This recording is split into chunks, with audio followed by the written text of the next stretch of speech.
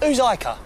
Flatmate. Fit, apparently. Dutch. Oh, I've never met a Dutch. Always the filthiest. And you know that, do you? Yes, I fucked a Dutch girl. Bollocks, never been Holland. Yeah, I have. It was the West Ham under 13s football tour. Oh, right. And what did she do to you when you were 12 that was so filthy? Give you a blowjob in a windmill? Wank you off with clogs? Nah, look, it was properly filthy. That I shouldn't tell. Try us.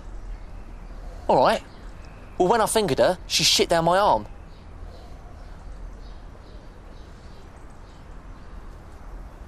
Should we go and look where we're sleeping then? Yeah. Yeah. And to think,